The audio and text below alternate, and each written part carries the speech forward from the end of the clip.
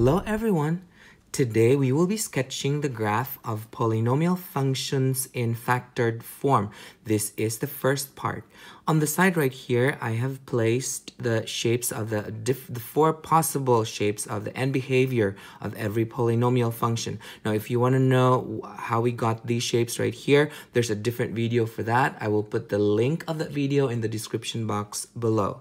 So let's get into the first example here. So uh, if we say uh, a polynomial function in factored form, this is an example of a factored form of a polynomial. So um, that's a factor form right there. Now let's find the roots. To find the roots, we are going to use the zero product property to determine what the roots are. So let's take the first one here. So the root, uh, the first root is x equals zero. The second root is x equals neg negative 2. Again, we're using the zero product property. So x equals negative 2. The third root is x equals positive 1. The fourth root is x equals negative 3. The fifth root is x equals positive 2.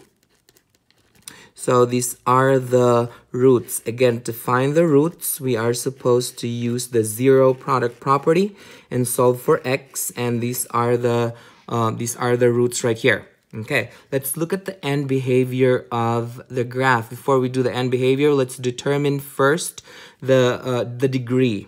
Okay, first, this uh, each of these uh, parentheses here will have an exponent of 1, including the one right here. So we count everything. So that would be 1, 2, 3, 4, 5. So this is fifth degree. And so this is actually odd. So that's odd because 5 is um, an odd number. And then the leading coefficient, which is the invisible positive. So this is positive. So then this is an example of an odd positive graph. So looking at the uh, shapes right here, odd positive is gonna look like this. That's odd positive. So it's gonna look similar to this. So one end is going to go up here on this side. And then the other end is gonna go down this way. Okay, so the next thing that we are going to do in order that we can sketch the graph is to um, plot the zeros. So the first zero is on zero, or the plot the roots. So the, that's the first root. The second root is negative 2. Then I'm going to plot a dot right there. And then the third root is a positive 1. And then the fourth root is negative 3. So it's going to sit here. And the uh, fifth root is a positive 2. It's going to be right here. Okay, so the next thing that we're going to do is to sketch the graph now. So first we're to go up this way then we're to go down. And then we're to go up this way. Then we're to go up this way. And that completes the graph.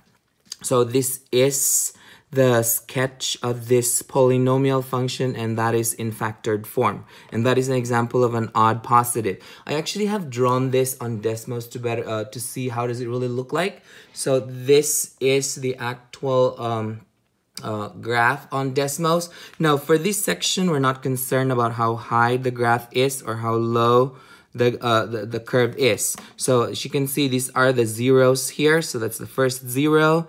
That's the next root, negative 2. The next root is 0.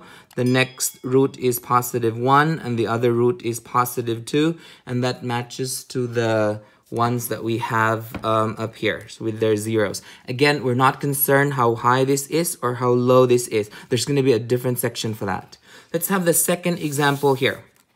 So again, we find the roots. So the roots are actually the, uh, uh, the using the zero product property. So this is x equals negative 3.